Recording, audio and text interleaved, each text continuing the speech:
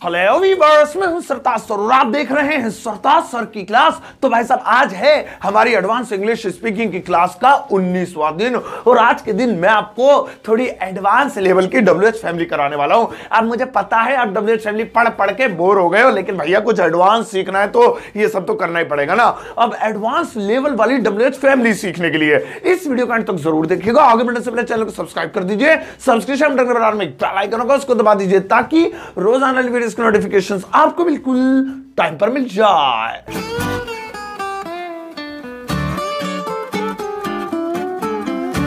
तो चलिएगा शुरुआत करते हैं इस वीडियो की और आज 19वें दिन मैं आपको सिखाता हूँ थोड़ी एडवांस लेवल की एच फैमिली अब भैया, पहले मैंने एक वीडियो में आपको बताया था कि जो एच फैमिली है, ये सवाल के साथ साथ जवाब के लिए भी इस्तेमाल की जा सकती है। अब अगर आपने वीडियो देखी है तो आज मैं स्टार्टिंग में थोड़ा सा वो चीज़ रिपीट करूँगा क्योंकि एडवांस वाली चीज़ उसी से जुड़ी हुई है। और नहीं देखी तो देख लो अच्छा ही है, वो वीडियो देखने की ज़रूरत नहीं पड़ेगी। और पता ही है तो भी देख लेना, क्योंकि रिविजन हो जाएगा तुम्हारा। तो मैं ये कह रहा हूँ, अब एडवांस वाली थोड़ी देर में बताऊँगा, वो ज़्यादा ज़रूरी है, उसे देख के तो तुम हिल जाओगे। मैं पहले स्टार्टिंग करते धीरे धीरे पहले बेसिक समझा दूँ कि ये जो डब्ल्यू एच फैमिली है हमारी वेयर वैन हुम फूम हाउ फाउ जो भी यही है, अब इसका मतलब ये क्यों, कब, कहाँ, कैसे तो होता है। यानी सवाल के लिए क्यों आ रहे हो, वह कहाँ सो रही है, तुम क्यों रो रहे हो, सारे सवाल पूछे जा रहे हैं। लेकिन इसी डब्ल्यू एच फैमिली का इस्तेमाल जवाब के लिए भी हो सकता है। यानी वैन माने कब तो होता है वैन माने जब वेयर माने जहाँ हाउ मतलब जैसे। हु माने जो मतलब कौन भी इसी का, जो भी इसी का, जहाँ भी इसी का, कहाँ भी इसी का, ये सवाल में भी इस्तेमाल होती है, जवाब में भी। लेकिन इसके लिए हमें इसका फॉर्मूला रटना पड़ेगा। और फॉर्मूला यह है, सबसे पहले डब्ल्यू एच फैमिली उसके बाद अफर्मेटिव सेंटेंस सवाल वाली में अफर्मेटिव नहीं था, उसमें डब्ल्यू एच फैमिली का हेल्पिंग आ रही थी। इस वाले में हेल्पिंग नहीं आएगी, इसमें डब्ल्यू एच फैमिली के बाद सीधा अफर्मेटिव सेंटेंस आएगा। मैं दो एग्जांपल दे देता हूँ, ये चीज़ क्लियर होगी, फिर हम अपनी एडवांस वाली चीज़ की तरफ़ बढ़ेंगे, जो आपको किताबों में भी देखने को नहीं मिलेगी पीरोमिस कर रहा हूँ मैं तुमसे। अब दो एग्ज़ाम्पल ले लेते हैं। जैसे हमारा पहला एग्ज़ाम्पल है, जहाँ तुम जा रहे हो, अब पूछ रहा है या बता रहा है? तो आप कहोगे, जहाँ तुम जा रहे हो। नहीं नहीं, ये तो बता रहा है, क्योंकि अगर ये पूछता तो ऐसा पूछता, तुम कहाँ जा रहे हो? तो बता रहा है। तो इसलिए जवाब वाला फॉर्मूला लगेगा, ऊपर टंगा हुआ है, और जवाब वाली डब्ल्यू फैमिली लगेगी। तो कहाँ के लिए भी वेयर होता है, और जहाँ के लिए भी वेयर होता है तो लिख दिया वेयर अब तुम जा रहे हो। बच्चा यानी affirmative sentence as it is चिपका दो। You are going where you are going तो इस वेयर का मतलब हो गया, जहाँ। और इसी वेयर का मतलब अगर तुम्हें बनाना है, कहाँ? तो इस आर को डब्ल्यू फैमिली के पीछे लिख दो, यानी हेल्पिंग और को पहले पहले लिख दो वेयर आर यू गोइंग तुम कहाँ जा रहे हो? तो डब्ल्यू फैमिली और हेल्पिंग वर्क की वजह से पीछे लगाने से ये सवाल बन जाता है और हेल्पिंग वर्क हटा दो अफर्मेटिव बना दो तो जवाब बन जाता है। एक एग्ज़ाम्पल और लेते हैं। जैसे, जब मैं आया, अब पूछ रहा है बता रहा है? तो आप कहेंगे, नहीं, बता रहा है, जब मैं आया, फिर क्या हुआ, आगे मैं बैठा, ये सब हुआ। और अगर ये होता, मैं कब आया? तब पूछता तो जब मैं आया तो जब के लिए वही वही जो कब के लिए आई मीन वैन वैन अब मैं आया अफर्मेटिव लिखना इसे हेल्पिंग लगा देंगे तो इसका मतलब कब हो जाएगा? मैं कब आया? डिड नहीं लगाएँगे अफर्मेटिव आई के मैं आया पास्ट इंडेफिनिट टेंस जब मैं आया व्हेन आई केम यहाँ तक तो आपको मैंने एक वीडियो में बताया था और इसके लिए रिवीजन करा दिया। और अगर आपने वीडियो नहीं देखी तो चलो देखने की ज़रूरत नहीं है, आपको समझ में आ गया होगा। नहीं आया होगा तो मेरी वीडियो देख लेना, कोई बात नहीं। अब आते हैं मेन मुद्दे पर कि आखिर अब अब करना क्या है? तो सुनो, जिस पर बहुत सारे लोग गलती करते हैं। जैसे हमारा एक सेंटेंस है, मैं अब स्क्रीन साफ़ करवा देता हूँ, मैडम स्क्रीन साफ़ करो। ठीक है? अब हमारा एक सेंटेंस ले लेते हैं, जैसे वह कहाँ रहता है। अब इस सेंटेंस में मैंने ना तो फुल स्टॉप लगाया, ना क्वेश्चन मार्क लगाया। पहले मुझे ये बताओ, ये सवाल है या जवाब है? मैं तुम्हें टाइम दे देता हूँ। योर टाइम स्टार्ट नाउ बस इतना, ये ये केबीसी थोड़ी हो रहा है, जो तुम्हें पूरे एक मिनट का टाइम दे दूँगा। तो वह कहाँ रहता है? अब बताओ, ये पूछ रहा है या बता रहा है? तो आप कहोगे, ये पूछ रहा है, सवाल है, ये तो क्वेश्चन है, वह कहाँ रहता है? हाँ सही कहा। अब मैं इसी से रिलेटेड दूसरी चीज़ पूछता हूँ। इसमें ऐसा क्या जोड़े जो ये जवाब बन जाए? यानी इसमें कुछ चीज़ चेंज नहीं करनी है, इसे हाथ नहीं लगाना है, इसमें कोई चीज़ हटानी नहीं है। बस इसके साथ आगे या पीछे कुछ ऐसा जोड़ दो जो ये जवाब बन जाए। तो आप कहोगे, वह कहाँ रहता है? इसमें ऐसा क्या जोड़े जो ये जवाब बन जाए? जाएगा तो देखो मैं जानता हूँ वह कहाँ रहता है। हो गया जवाब? देखा सेंटेंस वही है, वह कहाँ रहता है। लेकिन जुड़ गया, मैं जानता हूँ वह कहाँ रहता है। तो इस सेंटेंस में अब आप देखेंगे कि भले ही लिखा हुआ है, वह कहाँ रहता है, लेकिन दिमाग में कंफ्यूजन पैदा मत करना यह मत सोचना कि यह पूछ रहा है, बल्कि सेंटेंस को पूरा पढ़ो और ध्यान से देखो, मैं जानता हूँ वह कहाँ रहता है। यह तो बता रहा है, पूछ कर रहा है। बस यहीं पर गलती हो जाती है। अब गलती क्या होती है, सुनो। मैं जानता हूँ इसको इंग्लिश में बनाएँगे आई नो आई नो मतलब मैं जानता हूँ प्रेजेंट डेफिनेट टेंस वह कहाँ रहता है?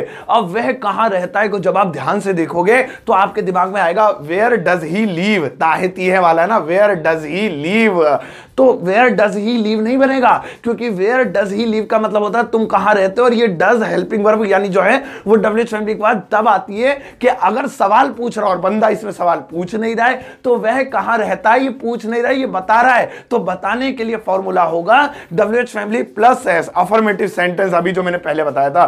तो इंग्लिश होगी where he lives I know where he lives ऐसे बनेगा। और 99% लोग बनाते I I know where does he live आ रहा है ना? मज़ा आ रहा है? ऐसी थोड़ी मेरी क्लास में मज़ा ही आता है। एक बार फिर से एक एग्जांपल लेते देखो, तुम्हें थोड़ा सा और मज़ा आएगा। जैसे तुम कहाँ जा रहे हो? अब बताओ, ये सवाल है या जवाब है? तो आप कहोगे, तुम कहाँ जा रहे हो? तो सवाल है वेयर आर यू गोइंग लेकिन इसमें जोड़ देते हैं, वह नहीं बताएगी कि तुम कहाँ जा रहे हो। जोड़ दिया, वह नहीं बताएगी कि तुम कहाँ जा रहे हो। अब बताओ, इस सेंटेंस को देखकर क्या लग रहा है तुम्हें? ये पूछ रहा है या बता रहा है? तो आप कहोगे, वह नहीं बताएगी कि तुम कहाँ जा रहे हो। पूछ थोड़ी रहा है, ये तो किसी को ये बात बता रहा है कि भैया वो जो है, वो नहीं बताएगी कि तुम कहाँ जा रहे हो, तुम ही बता दो हमें।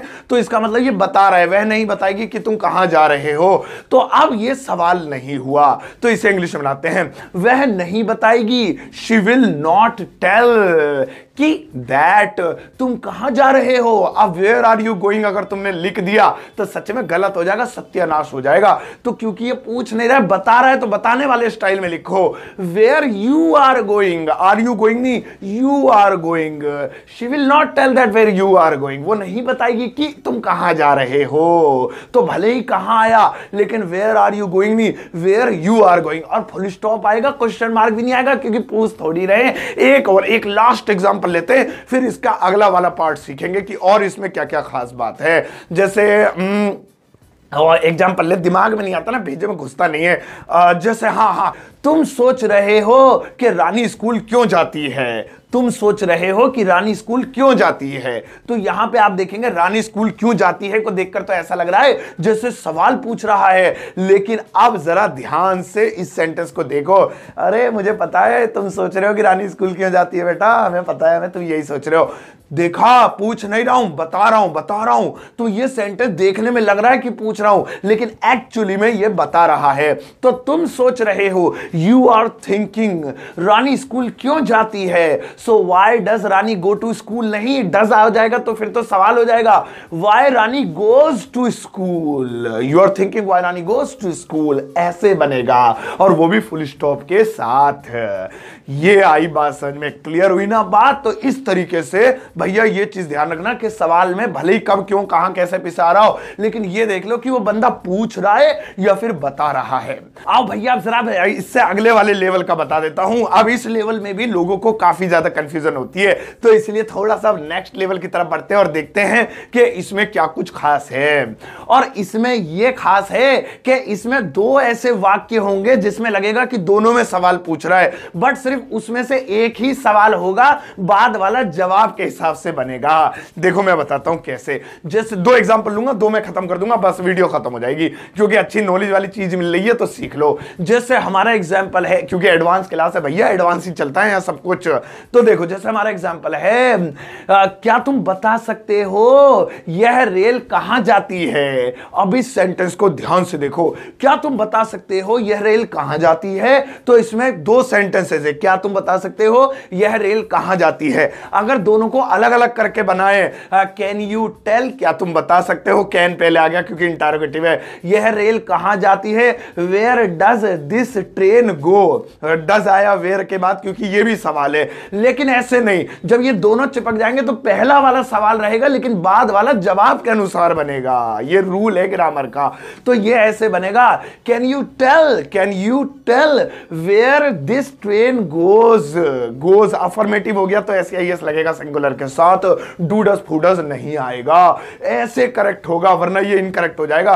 Can you tell where does this train go तो ये दो दो सवाल नहीं बनेंगे। ए, एक बार फिर से फिर से फिर से फिर से देखो जैसे क्या तुम जानते हो वह वह वाली बहुत हो गए। क्या तुम जानते हो मैं कहाँ रह रहा हूँ? है भैया क्या तुम जानते हो मैं कहाँ रह रहा हूँ? तो आप इस सेंटेंस में देखोगे कि दो सवाल लग रहे हैं। क्या तुम जानते हो? सवाल नंबर एक मैं कहाँ रह रहा हूँ? सवाल नंबर दो। पर जब इन दोनों को एक साथ बोलेंगे क्या तुम जानते हो मैं कहाँ रह रहा हूँ? तो कुल मिलाकर ये एक सवाल पूछ रहा है। क्या तुम जानते हो मैं कहाँ रह रहा हूँ? एक सवाल पूछ रहा है। तो पहला वाला सवाल में बनेगा, लेकिन दूसरा वाला सवाल में अगर बना दिया तो वहीं छेद देंगे, अंग्रेज़ पकड़ के मतलब आई मीन बेइज्जती हो जाएगी। सो क्या तुम जानते हो, डू यू नो मैं कहाँ रह रहा हूँ? वेयर एम आई लिविंग गलत हो जाएगा। एम नहीं आएगा डब्ल्यू फैमिली के बाद, वरना ये भी सवाल हो जाएगा। ये नॉर्मल बनेगा। Where I am living do you know where I am living ऐसे बनेगा। और 90 परसेंट लोग इसको ऐसे ही बनाएँगे। Do you know where am I living गलत है। और अगर ये खाली ऐसे होता ना, मैं कहाँ रह रहा हूँ? तब ये बनता वेयर एम आई लिविंग लेकिन अब ये दूसरे के साथ जुड़ा हुआ तो एक ही सवाल में बनेगा, दूसरा वाला सवाल में नहीं बनेगा। आई होप आपको मज़ा फजा सा होगा। एक एग्ज़ाम लास्ट लास्ट देखो देखो भागना। नीचे मत देखो टाइम कितनी वीडियो बची है। थोड़ी सी बची है। एक और देख लो। अच्छा ये समझ में आ जाएगा। एक एग्ज़ाम्पल और लेते हैं। जैसे आम, आ, क्या, क्या क्या क्या क्या ले हाँ हाँ हाँ यही ले लेते हैं क्या तुम क्या क्या वह जानती है पे ले लेते हैं। क्या वह जानती है सचिन कैसे खेलेगा? क्या वह जानती है सचिन कैसे खेलेगा? तो इस सेंटेंस के अंदर आप देख रहे हैं फिर से दो सवाल हैं। क्या वह जानती है सचिन कैसे खेलेगा? अगर दोनों को अलग अलग करें तो ऐसे बनेगा डज शी नो क्या वह जानती है? क्या के लिए डस पहले आ गया? सचिन कैसे खेलेगा? How will Sachin play how के बाद विल लगेगा? क्योंकि सवाल में डब्ल्यू एच फैमिली के बाद हेल्पिंग और लगती है। लेकिन नहीं जब दोनों को मिलाकर बोलोगे क्या वह जानती है सचिन क्या, क्या कैसे खेलेगा? तो यहाँ यहाँ पे एक बार ही सवाल पूछा जाएगा दूसरी बार जवाब होगा। सो so, सेंटेंस सही तरीके से होगा। Does she know how Sachin will play how will Sachin play नहीं how Sachin will play will बाद में आएगा। विल बाद में मतलब अफर्मेटिव तरीके से बनेगा सवाल में नहीं बनेगा। Does she know how Sachin will play does she know how Sachin will play ऐसे बोलेंगे। और अगर आपने किसी ने आपसे बोला does she know how Sachin how will Sachin play तो आप वहीं से सरताज सर की क्लास रात नौ बजे आती है यूट्यूब पे देख लिया अगर तेरी अंग्रेज़ी ठीक ना है। तो ये आज मैं आपको डब्ल्यू फैमिली के बारे में बताने वाला था। आई होप मैंने वीडियो के ज़रिए आपको बता दिया होगा अच्छे तरीके से, ना आपके भेजे में भी घुस गया होगा। अब बारी है आपके होमवर्क की। तो मैं आपको आज ज़्यादा नहीं, बस चार सेंटेंसेस दे रहा हूँ। ये देखने के लिए कि आप वाकई में आपके भेजे में घुसी कि ना घुसी। तो चलो फिर, मैडम लगाओ इनके लिए खतरनाक चार सेंटेंसेस ये रहे आपके वो चार सेंटेंसेस अब इन सेंटेंसेस को इंग्लिश में ट्रांसलेट करना और ध्यान रखना कि वो पूछ रहा है या बता रहा है। और दो सवाल एक साथ है तो पहला वाला सवाल, लेकिन दूसरा वाला जवाब में कन्वर्ट होगा, वरना गलत हो जाएँगे। नोटबुक फोटोबुक करके इस वीडियो कमेंट बॉक्स में चेप देना। लाइक कर चक्कर तो गलती कर कमेंट में आपको बता दूँगा। और इसका आंसर कल वाली वीडियो में भी चेप दूँगा, ताकि तुम्हारे दिल को और तसली हो जाए, ताकि तुम्हें लगे कि हाँ हमने सही किया था। और कल वाली वीडियो का होमवर्क जो आपने मुझे कमेंट बॉक्स में करके दिखाया था, मैंने उसे लाइक किया, लेकिन उसका आंसर फिर भी साक्षात आपके सामने लगाओ जी। ये रहा उस वीडियो का आंसर आई मीन उस वाले होमवर्क का आंसर इसे भी मैच कर लेना। तो भाई साहब, ये थी आज की वीडियो जिसमें मैंने आपको W H family advance level की पढ़ाई। आई एम श्योर आपको मज़ा वजा खूब आ रहा होगा और ऐसे एडवांस बढ़ाते रहेंगे बढ़ाते रहेंगे, ऊँचे लेवल तक ले जाएँगे, महा एडवांस तक। तब तक आप इस वीडियो को एक प्यारा सा लाइक देकर जाना।